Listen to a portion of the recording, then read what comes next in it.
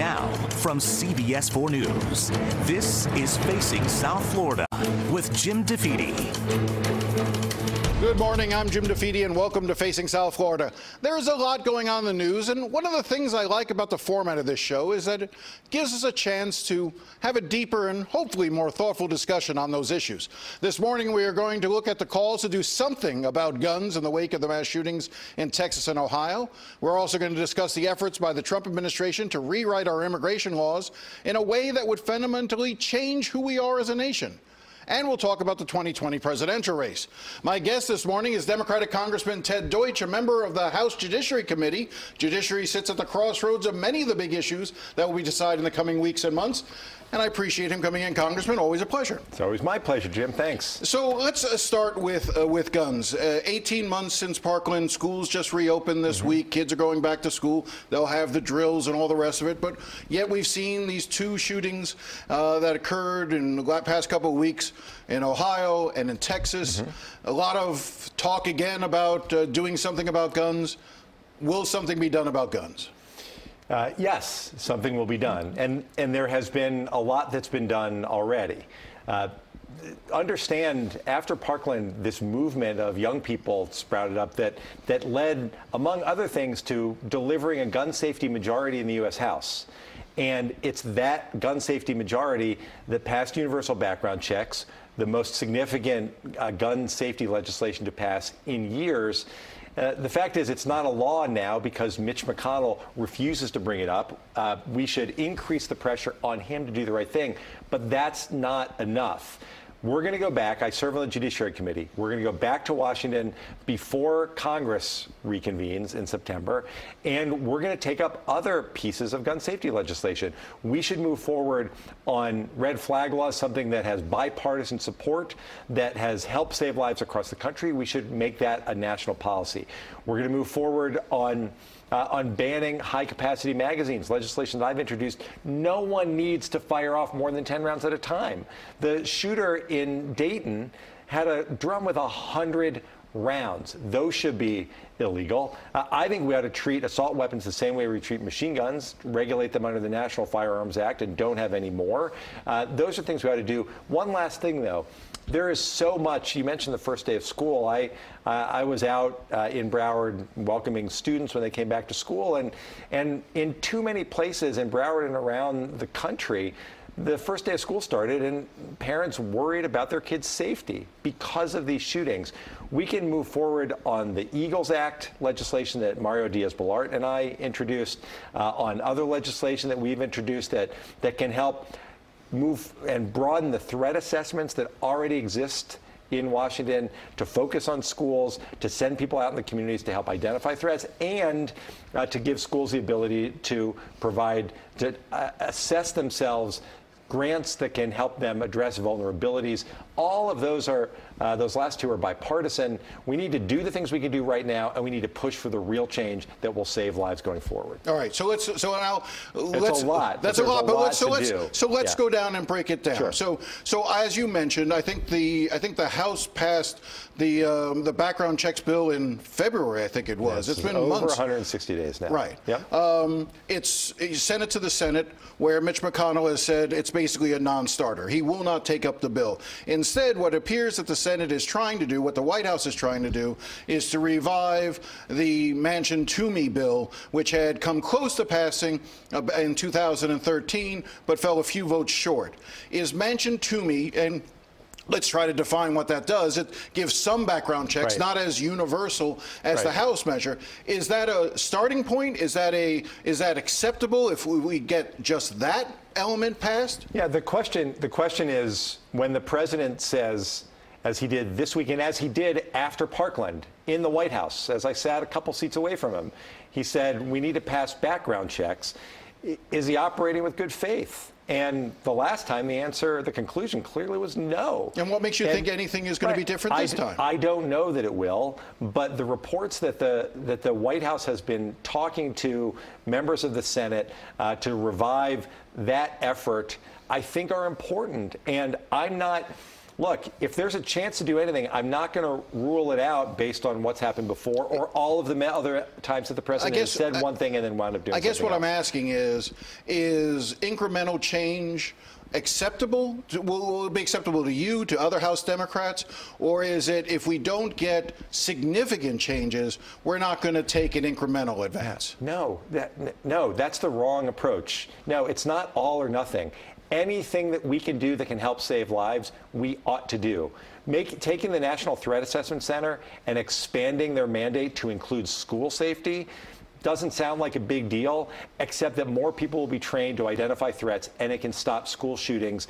That's not banning assault rifles, but it will help, and we ought to do it. We ought to pass red flag laws that are bipartisan. So let me ask you so about red yes, flag laws. Incremental steps are important steps, but we're going to keep fighting for all of it. So I want to ask you about uh, red flag laws, because yeah. as I understand some of the negotiations right now, is that the push would be to have red flag laws not necessarily a national red flag law, but creating some sort of encouragement for states to pass red flag laws. Right. Would that be a good step? Uh, yeah, absolutely. And but, see, but then, but then, don't you end up with a situation where you you get patchwork uh, passage of laws, oh, no, and, no. They, and they get to sort of Here's, put a fig leaf and say we did something about guns, but nothing significantly got done on guns. Well, no, I don't care. I, I don't care. I, I'm not going to allow someone to claim that we should be satisfied with small steps. That doesn't mean we shouldn't take small steps, even as we push for the others.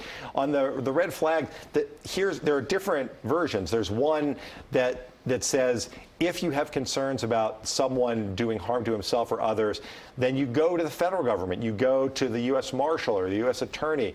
Uh, that's one approach. We should do that and provide incentives for states to also pass their own laws because if someone feels threatened, they're going to go to their local police. That that necessarily is a, a state law that would uh, that would apply. So we should include all of those. It's one bill. It's one piece of this.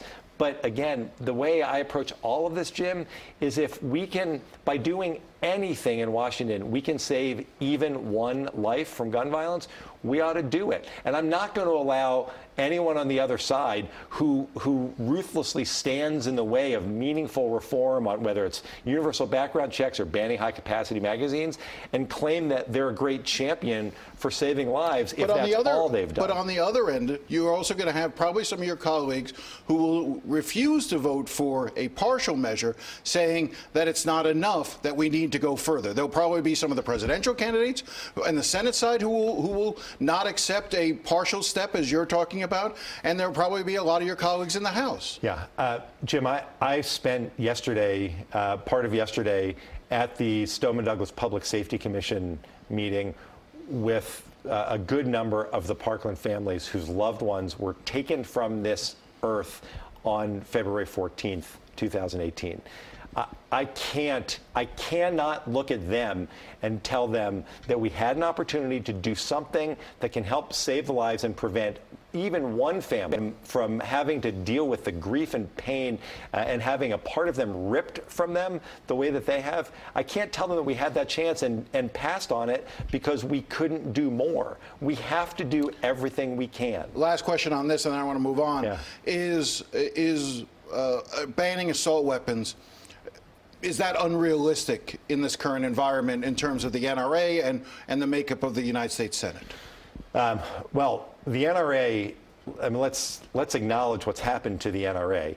They're falling apart. Look at the corruption starting at the at the very top. Look at the uh, at the challenges and the layoffs and the, the issues with the Russians and the tax issues. Should they lose their 501c3 status? We should absolutely be looking at that. Absolutely, because of uh, everything that we've learned over the past year, year and a half. But that's the NRA. Uh, but does do they still have power? Some in the Senate. Should we fight against Mitch McConnell's efforts to hold this back? Yes, but the House needs to do what we can.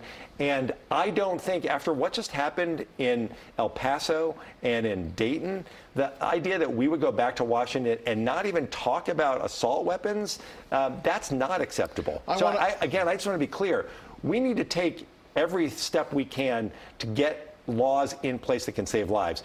But there's no one who's fighting harder to get the, these, these weapons of war off of our streets uh, as much as I am, and more importantly, as much as the people of Florida are, uh, as they work to, to put an assault weapons ban on the ballot. Ban Assault Weapons Now is a group that's doing incredible work every day to get that ballot initiative out there so that we can take action even if Mitch McConnell That's at the state to. level here, in, state level. here in Florida. Yep. Let me just so, sort of talk about the rise of white nationalism and, and the notion of domestic terrorism not being significantly um, investigated, that the resources are, aren't really there. Again, this is an issue for the Judiciary Committee. Yeah. You know, there's been a lot of effort spent on protecting the homeland from from foreign terrorism. What about domestic terrorism? Are we doing enough there? No, no, of course we're not. And that starts with the way the administration approaches it. Uh, we had a hearing recently where the administration official couldn't even bring himself to acknowledge that white nationalist terrorism is a threat, and it's not just a threat here. It's it's a growing threat worldwide. But we have to we have to call it what it is. We have to acknowledge that that in Charleston and in Pittsburgh and in El Paso, just as three examples, that in each one of those instances, those shooters, um, just like the, the guy in Christchurch, they, they had a very specific aim, and it was not to go and randomly shoot people. It was to go kill African Americans, Jews, uh, Latinos. That's what we have to acknowledge. We are we have been right to treat uh, international terrorism as a threat. Certainly after 9/11, when we felt it here on our homeland, uh, we had the responsibility to do that, and we must continue to. But when you see this growing threat of white nationalist terrorism, we have to call it what it is, and we have to treat it with the same uh, the same passion to keep Americans safe as we do other terrorism. You, to what extent do you attribute the actions of the the shooter in Texas? To the type of rhetoric that was coming out of the the uh, the president? Well, look, the, when when you uh, when you set a, a, standard, when you tolerate the the language that has become um, too prevalent in this country, coming from um, starting starting at the White House, and start starting with the way the president talks about immigrants, for example. Uh, there's a tone that's set that encourages um, others to speak the same way. And some people, some people then internalize that and, and in their own situation with their own warped minds, uh, wind up carrying that out to extremes and conducting violent acts. Uh, we, the reason that it's so important to focus on white nationalist terrorism is so that we can, uh, we can change the conversation so that no one anywhere in this country thinks that it's acceptable, not just to engage in terrorism. Obviously, uh, that that's uh, that's something that we have to speak out against. But that the kind of statements, the white nationalist statements, the the, the way that people talk about people of color, the way that that the administration uh, demonizes immigrants and and and people of color, uh, that that's not tolerated either. It's a battle, but it's a really important battle we need to be waging right now. Is it is the right question to ask? Is it a good question to ask? Is the president a racist? Is that the right I question? I, I don't. I, I, want to focus on what's coming out of the White House and the policies that contribute to an atmosphere that leads people to think that it's okay to demonize others. And that's what we should be combating when, and I think we may chat further about this, but when Ken Cuccinelli does the sorts of things that he's done this week, uh, that sets a tone and sends a message well, me, about how, how we should interact with immigrants, and, and it's terrible, and we have to confront it. You've written my tease for me. When we come back, I want to take a break here, and I want to talk about Ken Cuccinelli and exactly immigration when we get back on Facing South Florida.